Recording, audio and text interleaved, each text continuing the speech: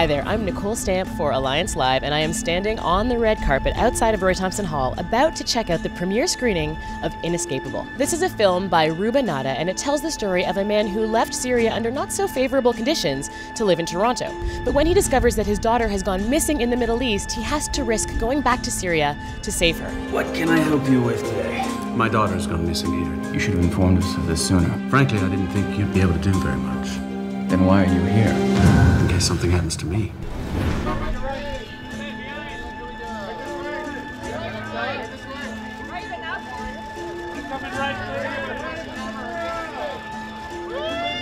When you first read the screenplay, what were your first impressions of the material?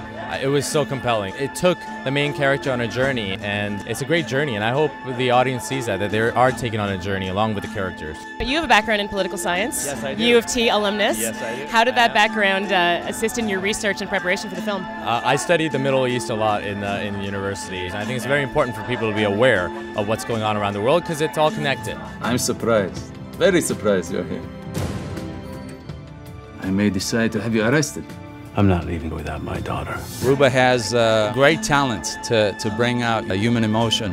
It's, it's so subtle, but it's so powerful. This was my first visit to South Africa. Uh, my wife and I have always talked about uh, doing a safari together, but we have very young kids, so we were kind of uh, holding back on it. And then I ended up doing it without her, which was, Was she, was she mad? it's like if you're already there, what, you're not going to do the safari? The truth doesn't matter here.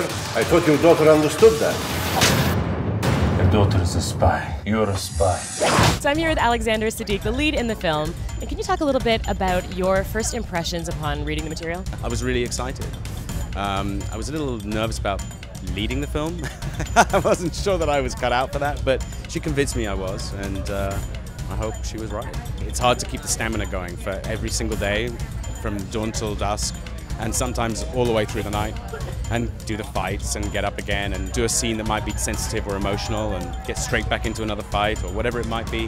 How did you do it? I had to lie in bed for about six weeks afterwards. Streets are crawling with secret police. And if they find me here, they will kill me. I'm here with filmmaker Ruba Nadda, and I wanted to talk to you about your inspirations in creating this film, telling this story. I've always wanted to set a story in Damascus, Syria, but always been fascinated by the politics and by the, the government and the uh, the police state. Can you tell us the story of uh, Abu Ruba?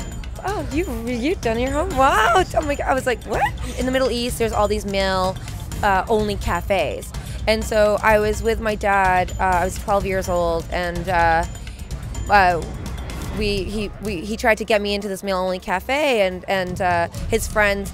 In, in, in Islam or in, in Arab culture, uh, when you don't have sons, they call you Abu Muhammad, which is um, father of pro- the Prophet Muhammad.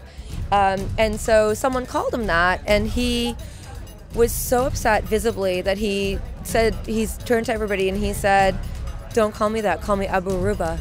And I was like, Okay, my dad's a rock star. That was part of the importance of trying to show the world a different kind of Arab male.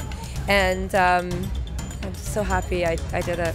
If somebody asks me about what it means to be a Canadian, there's a there's a part of that experience that you can't actually describe in words. You just know it, right? I'm just Canadian and you're just Canadian. We know that. And she has that in her cellular level. And the nuances that I guess you would miss or I would miss from reading media outlets that we're exposed to over here that that can't possibly capture what it's like to be there, to be on the ground, to to live it and breathe it every day. So that was the Roy Thomson Hall red carpet for action-packed political drama Inescapable. Be sure to check it out and keep on checking back right here at alliancelive.ca for more tippy goodness. Find my.